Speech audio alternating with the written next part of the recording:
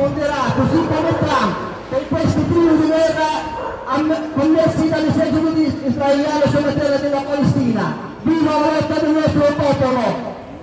Viva gloria per i nostri martiri caduti! La rivoluzione palestinese e la sua rivolta, la sua resistenza continuerà fino al ritorno nelle nostre terre. La pace in Medio Oriente ci sarà quando ci sarà il nostro Stato e la sua capitale Gerusalemme. Invitiamo le persone